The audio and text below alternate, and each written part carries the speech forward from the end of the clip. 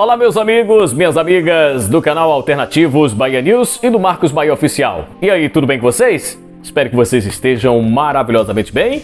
Pessoal, estou passando aqui no nosso canal, como sempre, tendo novidade, eu venho aqui informar e comunicar vocês que acompanham diariamente os nossos conteúdos. E a novidade é o seguinte, pessoal, esse aparelho da Tocom que eu vou mostrar para vocês agora, muitas pessoas estavam tendo problemas sérios com ele, não funcionava o SKS, não funcionava o IKS, e pedindo aqui uma solução no nosso canal. E diante disso, como eu já tinha esse aparelho aqui, se tornou mais fácil para a gente achar uma solução dele, até porque eu já tinha esse aparelho. Eu falei, eu vou estudar de que forma a gente pode fazer uma, uma é, uma forma dele funcionar o 613 e também, claro, o IKS, já que a marca não lança atualização para esse aparelho, a gente arrumou uma forma desse aparelho voltar a funcionar o IKS e o SKS. Vou mostrar para vocês.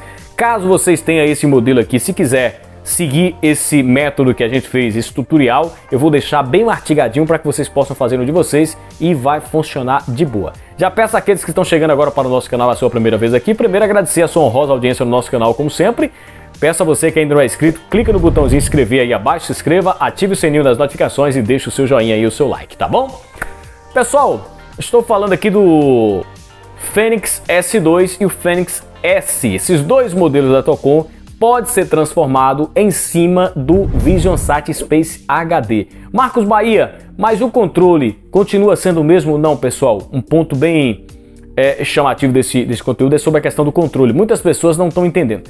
Tá perguntando se o controle vai servir. Claro que não, o controle não serve porque muda é, o sistema completamente. Então tem que ser o controle da VisionSat. Mas vocês podem estar adquirindo esse controle da VisionSat através da loja parceira nossa, Bahia Eletro. Ela chegou com esses controles hoje, eu já recebi informação que tem à disposição os controles da VisionSat na Bahia Eletro. Entre em contato no WhatsApp aqui da Bahia Eletro, fale com o pessoal, o controle é bem baratinho. Você faz essa transformação no aparelho de vocês aí, em cima da VisionSat, e eu posso afirmar e garantir para vocês que o aparelho tá show de bola, sensacional, tá? Enquanto a Tocom, que o pessoal, ah, mas é da mesma família da Tocom, o servidor Tocom, pessoal, esses detalhes não querem entrar. Não sei qual servidor a VisionSat eles utilizam, eu só sei que tá funcionando o 63, tá funcionando o IKS, a gradezinha tá redondinha, bonitinha, canal HD, SD, tudo rodando. Então é isso que a gente precisa, é que o aparelho venha a funcionar, colocar o aparelho para rodar, é isso que a gente precisa, não que o aparelho fica ali só se vindo ali de, de, de, de, de empatando, né, tomando espaço na sua estante aí no seu rack. Então, a gente arrumou essa solução para ele fazendo essa transformação. Vou deixar um vídeo aí fixado no comentário como foi que a gente fez no passo a passo, lembrando que para fazer essa transformação é através do computador RS232, através do cabo RS232. Caso vocês não sabem fazer, peça um profissional aí, um técnico que possa fazer isso, que é fácil, ele consiga fazer isso para você tranquilamente.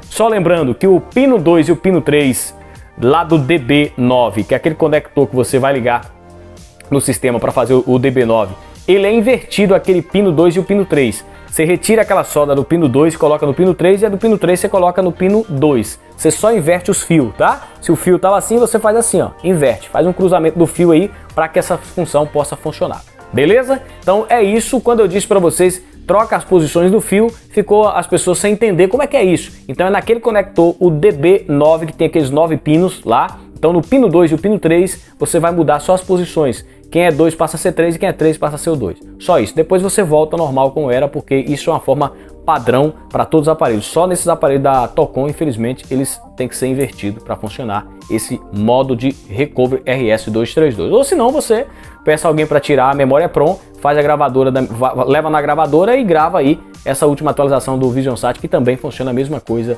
sem problema. Tá certo? Aí vem a outra pergunta, Marcos Bahia, mas toda vez que sair a atualização da VisionSat eu vou ter que fazer RS232? Não, não precisa mais, pessoal.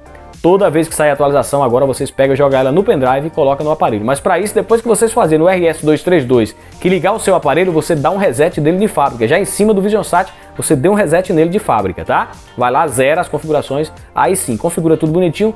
Toda vez que sair a atualização da VisionSat, você joga no seu pendrive, coloca nele e faça pelo pendrive agora. Não precisa mais RS232 ou gravar memória PROM. É uma única vez você faz isso no seu Fênix S2 ou Fênix S, transformando ele em cima do VisionSat Space HD. Fica a dica para vocês aí, essa solução aí é infalível, é bateu, funcionou, beleza? Forte abraço e até qualquer hora. Tchau, tchau.